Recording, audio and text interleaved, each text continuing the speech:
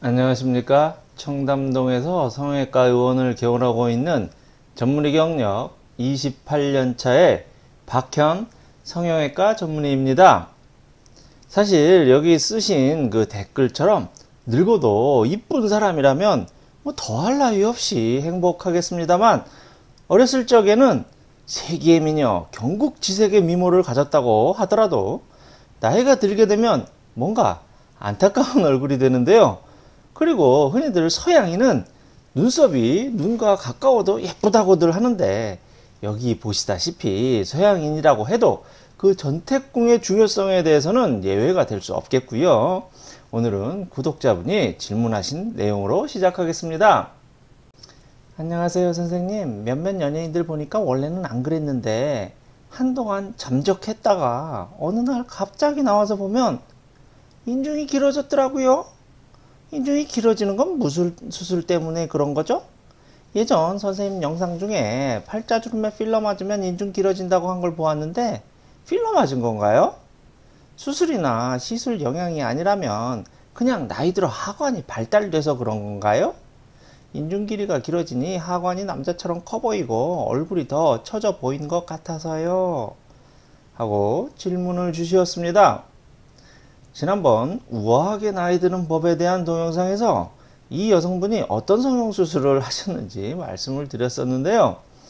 이마거상술로 추미근이 절제되면서 미간주름이 펴지고 처졌던 눈썹이 올라가면서 내시경 이마거상술의 부작용인 이마가 위로 넓어졌으며 하안검 성형술로 눈밑 주름이 없어졌으며 안면 거상술과 목 거상술로 굵은 목 가로주름과 자글자글한 목 세로주름이 없어졌는데 얼굴 당김으로 인해 눈썹뼈 노출 등의 노골 현상이 심화되고 인중 길이는 여전하여 얼굴이 길어 보이고 있습니다.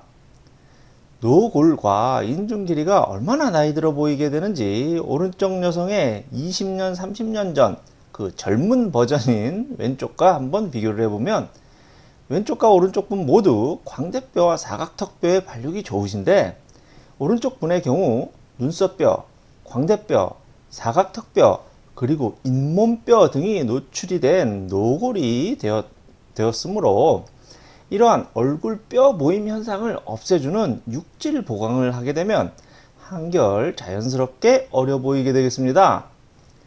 이마거 상술, 안면거 상술, 하안검 성형술을 모두 받았지만 여전히 처져 보이는 이유는 바로 이 녹색 원 부분의 얼굴 중앙부가 central face가 눈에서부터 멀어졌기 때문인데 이에 가장 중요한 그 큰 원인은 바로 인중이 길어졌기 때문입니다.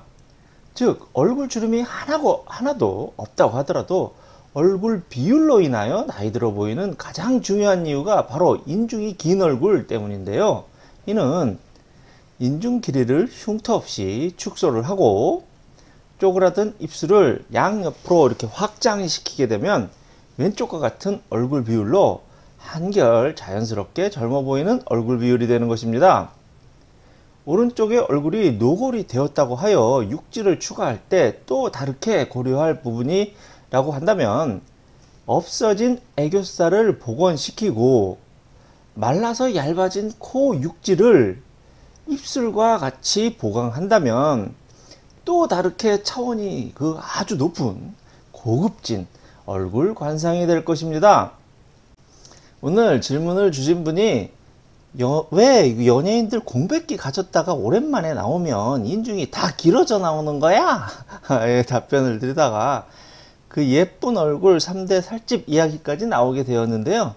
주안점을 정리해 드려 보면 연예인들이 이마거상술, 안면거상술, 뭐 하안검 성형수술 등을 그냥 아주 그냥 자연스럽게 하여서 일반인들이 성형수술한 것을 전혀 눈치채지 못하게 한다고 하더라도 이 중앙안면부 노화에 대해서는 미처 그 조치를 취하지 못했기 때문에 얼굴 주름도 없이 다 당겨져 있고 그 뭐 여타 눈에 거슬리는 주름이 전혀 없지만 왠지 이상하게 눈에 띄는 부분이 인중이어서 인중만 유독 길어져 보여 그 보이는 것입니다.